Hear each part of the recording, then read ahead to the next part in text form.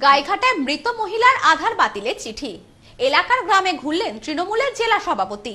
আশ্বস্ত করে পাশে থাকার বার্তা, কটাক্ষ বিজেপির। আধার কার্ড বাতিলের চিঠিকে কেন্দ্র করে রাজ্যে রাজনৈতিক চাপানুতর চলছেই। এই চিঠি আসায় বাসিন্দারা এক প্রকার আতঙ্কিত।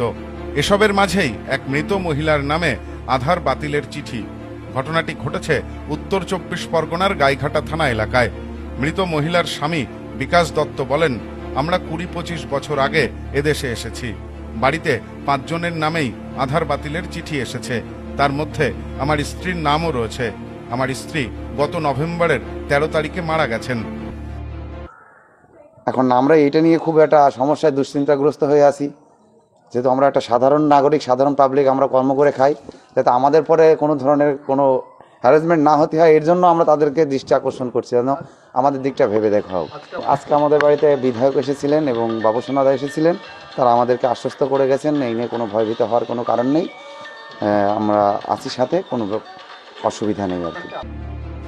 বাসিন্দাদের আতঙ্ক কাটাতে তাদের পাশে দাঁড়িয়েছে তৃণমূল। আতঙ্ক কাটাতে গ্রামে গ্রামে ঘুরে মানুষকে আশ্বস্ত করছেন তৃণমূল নেতৃত্ব। বৃহস্পতিবার উত্তর চব্বিশ পরগনার গাইঘাটা ব্লকের চিকনপাড়া এলাকায় যাদের আধার কার্ড বাতিলের চিঠি এসেছে, সেই সমস্ত মানুষের বাড়িতে যান বনগা সাংগঠনিক জেলা তৃণমূলের সভাপতি বিশ্বজিৎ দাস। ছিলেন উত্তর চব্বিশ পরগনা জেলা পরিষদের সদস্য অভিজিৎ বিশ্বাস সহ স্থানীয় তৃণমূল নেতৃত্ব। সাধারণ মানুষদের পাশে থাকার আশ্বাসও দেন তারা। তৃণমূল নেতৃত্বের দাবি, মমতা বন্দ্যোপাধ্যায় যতদিন রয়েছেন, তাদের কেউ তাড়াতে পারবে না, ফলে আতঙ্কিত হবেন না। পাশাপাশি এই এলাকায় আধার কার্ড বাতিলের চিঠি আসা মানুষদের নিয়ে বৈঠক করেন তৃণমূল নেতৃত্ব। বনগা সাংগঠনিক জেলা তৃণমূল সভাপতি বিশ্বজিৎ দাস বলেন, বিজেপি রাজনৈতিক উদ্দেশ্যে এই চিঠি পাঠিয়েছে, রাজ্যকে অসম বানাতে চাইছে। আমরা তা হতে দেব না। একশো ছখানা কার্ড চিঠি এখানে এসেছে, এই জায়গাটুকুর মধ্যে যে এখানে আধার কার্ড বাতিলের চিঠি। কেন্দ্রীয় সরকার পাঠিয়েছে। মানুষগুলো অনেকের ব্যাংকের লেনদেন বন্ধ হয়ে গিয়েছেন। অসহায়ের মতন মানুষ ভাবছেন যে কি আসামের পুনরাবৃত্তি হচ্ছে, আসামের মতন অবস্থা হচ্ছেন কিনা আমাদের কাছে বারবার খবর গেছে, এখানকার আমাদের নেতৃত্ব রয়েছেন।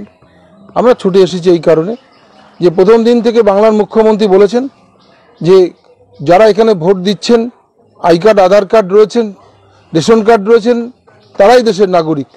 তাদের কেউ ভারতবর্ষ থেকে তাড়াতে পারবে না।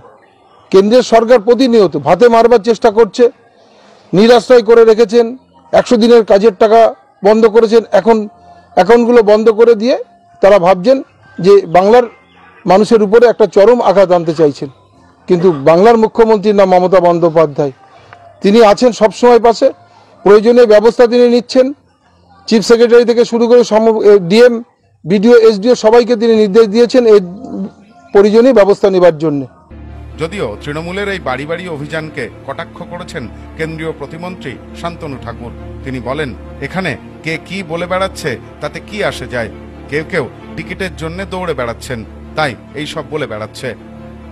উনি এখানে রাজনৈতিক বক্তব্য দিচ্ছেন আর সেন্ট্রালে মাননীয় প্রধানমন্ত্রীর কাছে চিঠি লিখবেন দুটোর ভিতরে আকাশ পাতাল তফাৎ এই দ্বিচারিতা পদ্ধতিটা বন্ধ করতে হবে। এখানে কে কি বলে বেড়াচ্ছে এড়া গেড়া ও সমস্ততে কোনো যায় আসে না।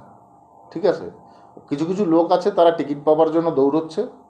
আমি সম্পূর্ণভাবে আশ্বস্ত করতে চাই আমাদের মানুষের। এতক্ষণে বোধহয় কোনো মানুষ বাদ নেই। প্রায় পঞ্চাশ হাজারের উপরে মানুষের এটা হয়েছিল, ঠিক আছে? By fault by by fault মানে টেকনিক্যাল ফল্ট এগুলো তো এরকমভাবে এক রাত, দু রাতের মধ্যে কমপ্লিট করা সম্ভব না এটা ডাটা ডেটা প্রসেস থাকে। সেই ডেটা প্রসেস অনুসারে টেকনিক্যালি ওটা মানে টেকনিক্যালি ওটা অটোমেটিক হতে থাকে। তো সেই প্রসেসকে বন্ধ করে দেওয়া হচ্ছে। দ্যাটস ইট সেটা তো স্বীকার করে নেওয়া হচ্ছে অকপটে technical fault bureau report news no man's land Gaighata. New PC jewellers সম্পর্ক গড়ে দেয়। বনগাঁতে আমাদের তিনটি শোরুম প্রতিদিনই খোলা। নেউপিসি জুয়েলার্স বনগা বাটার মোড়। নিউ পিসি জুয়েলার্স ব্রাঞ্চ কুমদিন স্কুলের বিপরীতে। New PC jewellers beauty Motiganj Hatkhola.